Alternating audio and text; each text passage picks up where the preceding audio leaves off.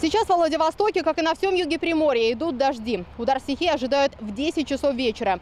Первый в эпицентр тайфуна попадет Находка. Там ветер поднимется до 35 метров в секунду. Затем ночью тайфун придет во Владивосток. Здесь температура упадет до 13 градусов, а ветер поднимется до 20 метров в секунду.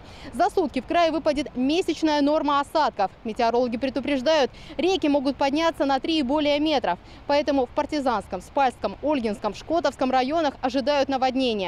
При этом в селе Екатериновка Партизанского района еще не отошли от предыдущего оползня. На прошлой неделе из-за сильных дождей разлилась река. 120 хозяйств осталось без света и огородов. Тайфун не затронет только север Приморья. Сейчас во всех районах края работают в круглосуточном режиме энергетики, специалисты МЧС и ремонтные бригады. В крае введен режим повышенной готовности. Наталья Смольянинова, Александр Каноненко. Панорама.